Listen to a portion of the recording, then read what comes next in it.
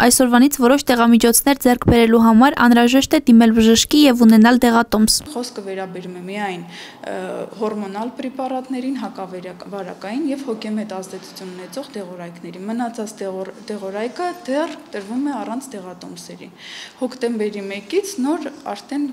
այդ մեծ ցանկով կտրվի արդեն տեղատոմսերով։ Բժիշկ Հարգինե Չիմանյանի խոսքով նոր էլեկտրոնային առողջապահություն համակարգի ներդրումից հետո տեղատոմսերը կտրվեն արդեն ID քարտերով եւ կկատարվի նաեւ հիվանդների հերթագրում։ Ենթադրվում է, որ մինչեւ հոկտեմբերի 1-ը մենք կանցնենք արդեն էլեկտրոնային առողջապահության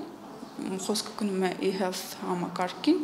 կմիանանք եւ արդեն տեղատոմսերը կտրվեն ID քարտերով։ Հուշաստատություններում սպասվող հերթերի վերաբերյալ 8-րդ պոլիկլինիկայի բժիշկները մեծ է զրույցում նշեցին, թե այսօր հատուկ տեղատոմսի համար եկած բնակիչների թիվը մեծ չի եղել, թեև չեն բացառում, որ այս որոշումից հետո հերթեր կարող են լինել։ Ես կոնկրետ առավոտ առավոտ 9-ից 3 տեղատոմս եմ գրել։